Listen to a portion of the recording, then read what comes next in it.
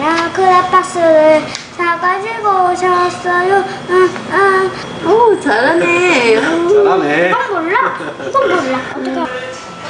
철부지 딸보다 말수 적은 아들 영국이에 대한 마음이 애틋하다는데요. 자 우리 아들 그냥 주세요.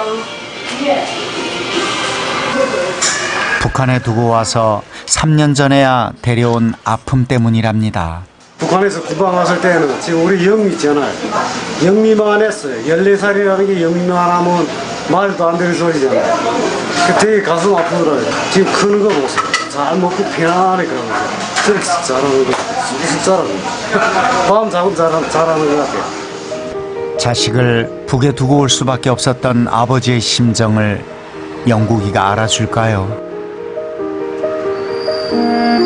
하루가 백년 같았을 세월을 견디고 부자는 다시 만났습니다.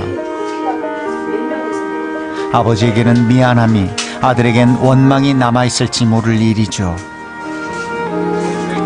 저는 아빠가 간 다음에 고아원에 있다가 아빠가 간 다음에 고아원에 있다가 한 11년인가 그렇게 있다가 아빠가 보낸 사람이 찾아와가지고 그 사람 집에 인연이 있다 2년 살아 아버지가 갑자기 한국에 남한에 가가지고 갔다는 소식 들었을 때 처음 좀 어땠어요? 처음에 얼떨결에 얼떨결했어요? 좀 원망하진 않았어요? 아빠가 영국에 안 됐고 혼자 가서? 글쎄요. 말끝을 흐렸지만 누구보다 아픈 선택이었다는 것을 영국이도 분명 알고 있을 겁니다. 이제 아빠의 도전이 오직 자식 잘 되기만을 바라는 대한민국 보통 아버지의 대열에 끼는 것이라는 사실까지도 이해하고 남을 나이죠. 자기가 노- 노력하면 예, 어, 이룰 수 있는 걸 아, 아빠 엄마를 보면서 이제 이제 컸으니까 당당한 한국인으로서 이제 이 사람들 똑같게. 차별이 없이.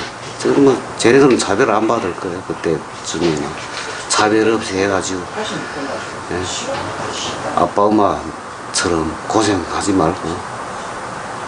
예, 이 사람들처럼 좀 유하게 좀 편안히 좀 예, 이렇게 좀 살았으면 좋겠어. 모처럼 나들이 길에 나섰습니다. 북으로 향하는 기차의 종착역.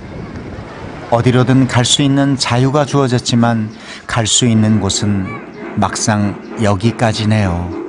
아빠가 북한에 있을 때 기관사였으니까 그 기차 타고 통일되면 아빠 기차 타고 북한에 갈 수 있을 것 같아요 녹슨 기차 끊어진 길 앞에서 그는 꿈꿉니다.